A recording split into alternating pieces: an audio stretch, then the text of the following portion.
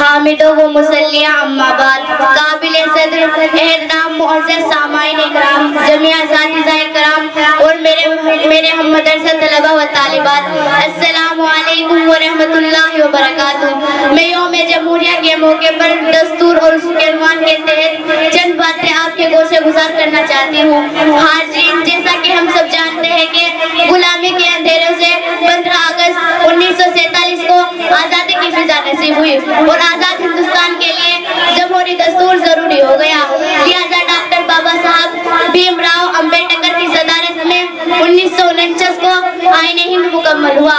उसका निकाह 26 जनवरी 1950 से हुआ। दस्तूर हिंद ने भारत को एक गैर मजहबी अवामी जमहूरी का दर्जा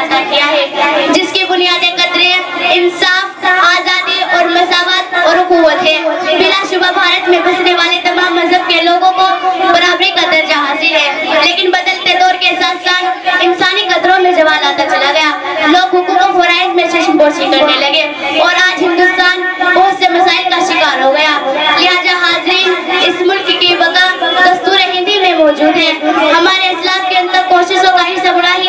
हमें हुकूक फराइज का हक अदा करता है? अकलो फहम, हैरत तो सोच में डूबी हुई है। आज हमारी हालत इजार पर आँखें नम हो जाती है। हम अपने हकी के लिए रिजर्वेशन चाहते हैं। गौर और तलब की बात यह है कि तालीमी मैदान में ने सकाफती जवान ने हमें इस कदर कमज़ोर कर दिया है कि हम एहसास कमतरी में दिन रात मुबतला होते जा रहे हैं। पैदा करे। इस मुल्क की तरक्की और खुशहाली के लिए हर मज़हब और मिलत के लोगों को एक बंधन में बनना ज़रूरी है।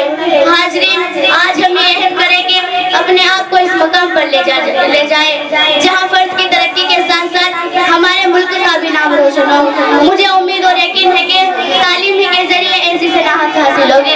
लिहाजा हाजरी इस शेर के साथ मैं अपनी बात खत्म करना चाहूँगी। खुदा ने आज तक उस कौम की हालत नहीं बदली।